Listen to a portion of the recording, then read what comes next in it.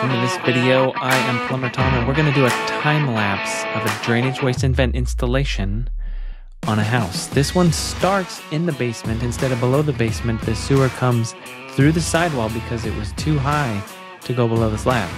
So we're going to hang all the pipe here and there was a sewage ejector involved with this project.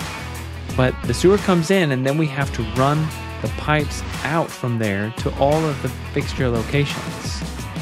At this point, I'm bringing the 3 inch drains out to the bathroom group areas. To support the pipe, I'm installing plastic plumber's tape and I put a few out there just to get the pipe where it needs to go. Then I come back through and every 4 feet, I create supports along that pipe, making sure that it has the proper slope, quarter inch per foot. This installation is obviously PVC and I am generous with the primer and with the glue. Some plumbers may criticize that as getting sloppy and messy. To me, it is most important to have a solid joint. And if you talk to any manufacturer of PVC, they're going to say you want a lot of primer and a lot of glue. And so that's what you're going to see on the way that I install. Now, there's different strategies for installing pipe. For me, I like to go through and install the main pipes that run to everything first. So I'm leaving Ys for branches. Once those trunk lines are in place, then I come back through and I run the branches out where they need to go. So at this point, I'm about at the end of the line. This is underneath a master bathroom, so I'm hooking up the toilet. I'm running a vent. There's a Y that's going to go up through the middle between the toilet and the shower. And then I've got the shower right there. I'm hooking up the P-trap for the shower. Now while I'm in the basement, I'm gonna run a vent up. This is gonna be a future bathroom.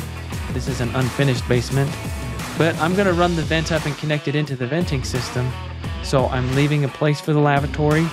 I'm moving that vent through the walls so that I can get it up to a good location where it can connect in to the venting system above the drains in the next floor. Now that I have the main trunk line run, I'm going back through and running branches.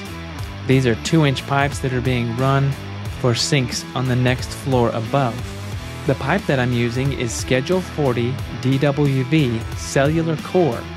Now, Schedule 40 is, you know, your typical PVC pipe, but the cellular core is used specifically for drainage. It has more of a foam core in the wall. It's a little bit lighter weight and not made for pressure, but it is made for drainage waste and vent. That's the pipe I'm using. Here I'm still running those branches out in the basement. I had left a Y for the kitchen. It's got to go all the way across the house, so I'm coming through the joists, supporting it every four feet with the plastic plumber's tape as I did with the main trunk line and making sure that it has proper slope. Now if I can hang close to a duct where I know they're going to box the ceiling out, that's a great place for me to run pipe. So I'm kind of bringing that through and then getting up in the joists. And that way they don't have to box out any more than really necessary when they frame in the basement. Now that I've finished the trunks and the branches in the basement, I move up to the main floor where I'm going to finish the drains going to different fixtures like sinks and run all of the vents up, tie those together, and run them out the roof. So I'm going from one location to another, now I'm mainly running vent pipes. Here's where I tie in that vent from below. I'm going to bring it up above the flood level rim of the sink on the main floor, connect it in with a Santee, and then get in the trusses and bring all those vents together.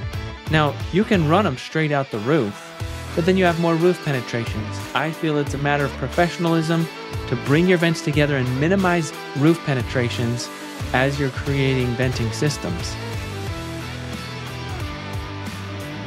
This is the washroom where I'm going to install a Santee, a P-trap, and a washer box, and I'll run the vent up from there. Don't forget to check out my other video detailing how you can do washer boxes. I'll give you all the heights and measurements that I typically will use when I'm installing those boxes. I'm going to run that vent up and connect it together.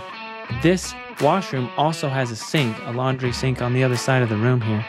So I'm going to run a vent up for each one of those and connect those vents together up in the trusses where they will also tie in to the other vents and run out the roof. Now, I live and work in Utah. We are on the International Plumbing Code, so the venting systems that I'm installing are based on the International Plumbing Code. It gives a little more flexibility than requiring an individual vent for every fixture. Sometimes I use individual vents, sometimes I'm using wet vents. Whenever you're installing vents, you'll want to make sure that you know the code for whatever jurisdiction you're in, and that is determined by state. Moving into the kitchen, the kitchen sink centers below that window, so I'm going to send an arm over to that. Just use a basic Santee. This is an individual vent. I'll stub it out for the kitchen sink and run a vent right out the roof. I like to stub my vent 14 inches above the roof. I like it a little higher than the minimum required by our jurisdiction just because we get snow pileup and I want to make sure those vents are up. So I'm going to cut a piece, send it up there, and make sure it's 14 above the roof. This bathroom group was unique and challenging because the HVAC contractor put the return air right below that wall. I couldn't run pipes up into that wall. So I had to bring the lavatory drain up and around, coming through the studs. This is far from ideal, but it works. I've got the drain coming through the wall, and then I put a vent in there with an arm that continues on. You can see it reduces from 2 inch to inch and a half to that arm to the sink on the far right. And then I run a vent up, and that's going to go out the roof. Running vents through trusses is fairly forgiving. I like to use the structure that exists to create my grade. So I put a little piece of pipe that would raise that up quarter inch per foot as it goes and then make sure that it's supported every four feet through the trusses. And make sure to have adequate support at the bottom of that vertical pipe for the vent. It's going to be holding the weight of that whole pipe going up. Let's have one more look from the basement going upstairs. I've got the main drains run through the trunk lines with branches coming off for fixtures wherever needed. And where possible, I keep it by the duct so they can just box out around and minimize intrusion in the basement ceiling. On this house, I'm hanging the drains because the sewer elevation coming into the house is higher than the basement level. Thank you for watching. I hope this is helpful to you. Please give me your comments. What do you think? How do you run drainage? Don't forget to like this video, subscribe to this channel, and don't forget to have fun when you're out there installing drain, waste, and vent systems.